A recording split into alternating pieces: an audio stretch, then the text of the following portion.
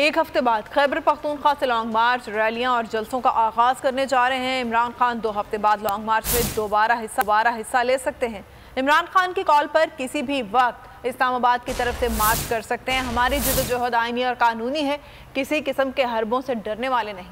रहनुमा तहरीक इंसाफ असद कैसर की पेशावर में बोल न्यूज़ से गुफ्तु हम पूरी तैयारी कर रहे हैं और इन ताला सात दिन बाद जो है ना पूरा एक बहुत बड़ा काफिला जो है ना, ये इस्लामाबाद की तरफ़ मूव करेगा और हम पिंडी में पड़ाव करेंगे। फिर फिर जो लीडरशिप जो इंस्ट्रक्शन देगी, उसके मुताबिक करेंगे। ये एक पूरा हमारे खिलाफ साजिश हो रही है। आप हमारे तहरीक की सब कुछ सामने है कभी भी हमने कानून को हाथ में नहीं दिया कभी हम तशद की तरफ़ नहीं गए, न चाहेंगे हम अपने जो है ना पुरमन और कानून के मुताबिक रखेंगे।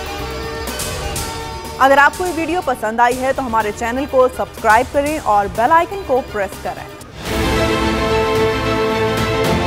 कवरेज की है। ये मार्च की तो ज़बरदस्त कवरेज थी। बॉल की प्रॉब्लम सबसे बेस्ट थी। सबसे ज़्यादा रील्स और सबसे ज़्यादा रेटिंग के साथ बोल रहा नंबर वन सब्सक्राइब करें और बेल दबाएँ ताकि कोई खबर रह न जाए।